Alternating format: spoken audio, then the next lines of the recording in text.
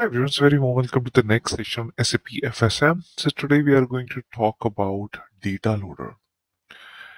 Now guys, whenever there is a SAP FSM implementation or SAP FSM project, so I'm sure you might have a scenario where business wants to upload their legacy system data into FSCP, SAP FSM. Okay, so uh, so yes, again, this functionality is definitely supported in SAP FSM.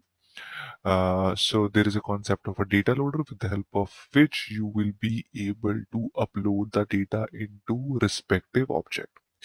I think there is one important thing which you need to remember. It's not that straightforward. Okay.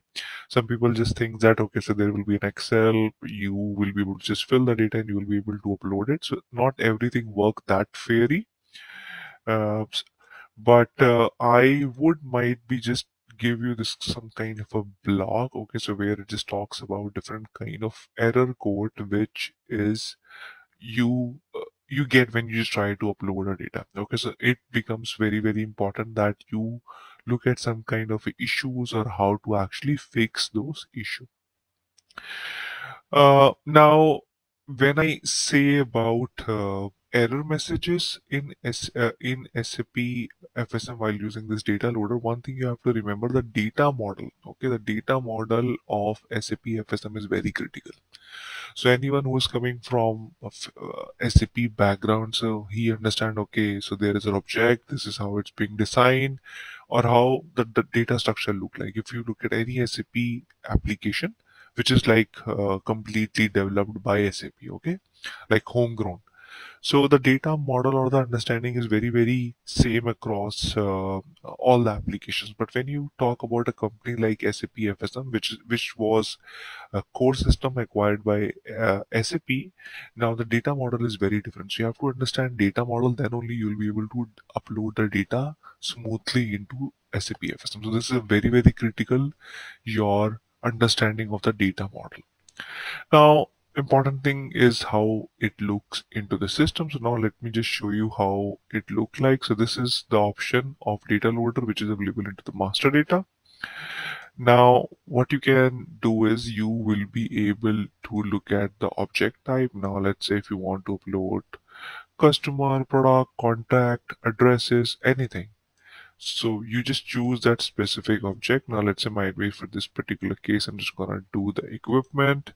I can quickly click on the download template here. Okay, so you can download as a CSV, XLS and XLX.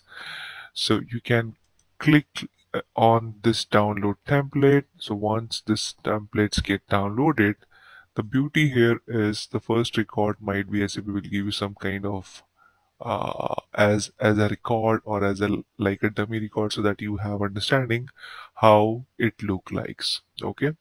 And wherever you see the star mark it means that that uh, field is uh, is a mandatory one.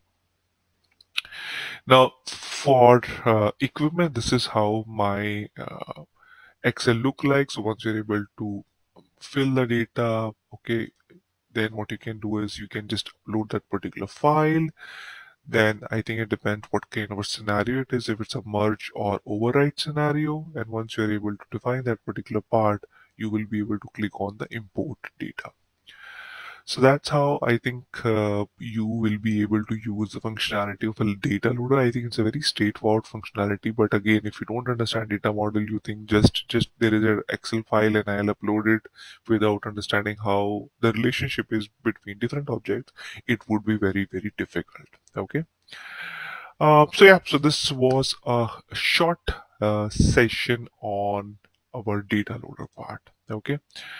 And so in case if you're looking to have uh, learn full-fledged this course on SAP FSM, please feel free to reach out to me. This is my WhatsApp number. You can just drop me a text and this is my email ID. Looking forward to have you in our course. Thank you.